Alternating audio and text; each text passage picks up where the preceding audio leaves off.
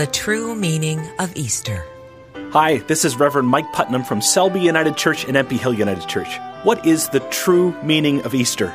You know, as a pastor, I meet people all the time who have been through some tough stuff. People who feel broken, ashamed, or even unworthy because of their past.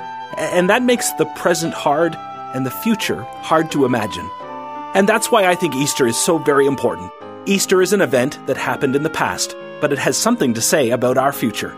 It says that because of a man named Jesus who defeated death and rose to life on Easter morning, our past puts no limits on our future, that God has a plan that is bigger than ours.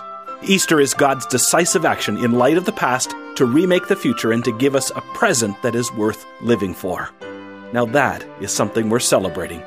So happy Easter from Selby United Church and Empey Hill United Church.